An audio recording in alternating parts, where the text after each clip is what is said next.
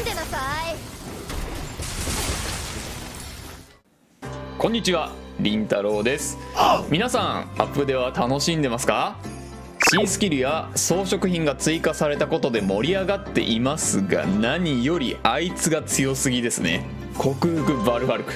私は見事に3オツかましてしまいました。安定して狩れるように練習したいと思います。そんな今作最強とも噂されているバルファルクですが防具も最強クラスに強いです。特にチャージアックスにとっては火力の壁を1枚ぶち抜いた感じです。そこで今回は新スキル隆起変換を活用した強属性チャージアックスの装備紹介をしていきたいと思います。超高特化ビルドなので超高出力でダメージを出したいという方は参考にしていただければと思います。防具連成なしで組んでおりますのでその点もご安心ください。それでは早速装備紹介に移ります。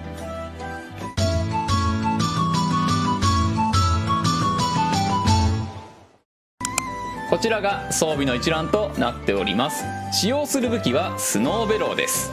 今回は例として氷属性で組みますがスキルレベルを落とせば全属性に転用可能です。百竜装飾品はスロットを拡張した上で属通龍獣をはめております。続きまして防具が頭から各用好み各用好みシルバーソル各用好みリバルクシャナとなっておりまして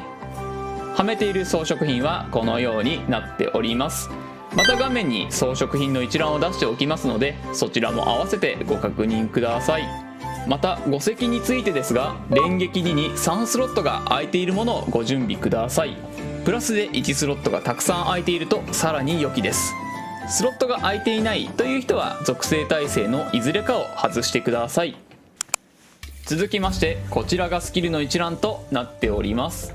必須スキルは氷属性攻撃強化ガード性能砲弾装填広角の恩恵連撃弱点特攻属性マルチの場合はひるみ軽減そして新スキルで今回の装備の肝である隆起変換と各属性耐性及び防御です。ここで隆起変換について簡単に説明します。スキルの説明文をご覧ください。まず前半部分の早替えの章赤使用中。属性耐性値が全て0になり属性攻撃値に変換されるについてですが耐性値がプラスだろうがマイナスだろうが一律0になります。その代わりに属性攻撃値が上昇します。上昇率はプラスの属性耐性値の25%程度と認識しておいてください。画面を例にすると属性耐性値の合計が142でその約25%の35が属性攻撃値に加算されています。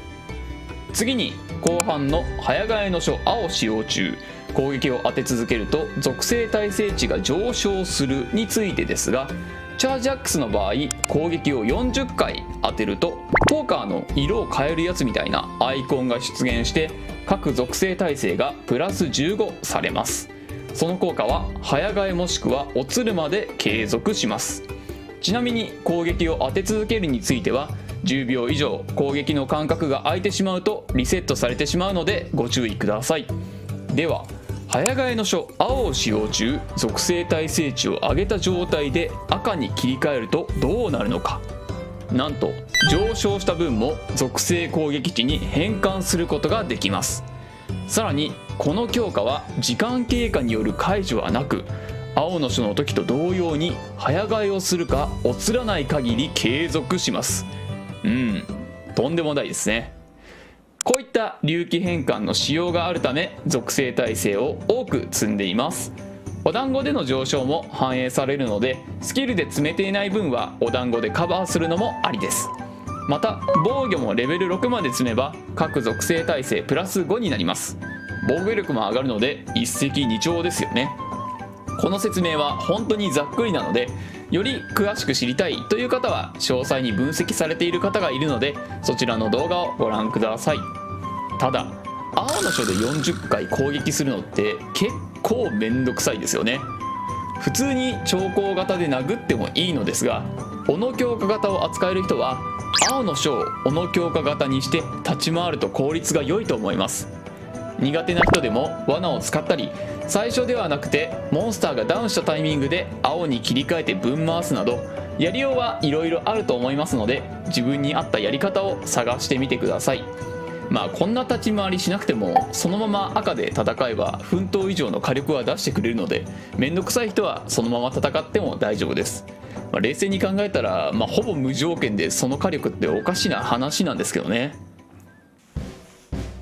いかがだったでしょうか？初手がちょっと面倒くさいですがその分のリターンがとてつもない隆起変換型チャージアックスの装備紹介動画でした。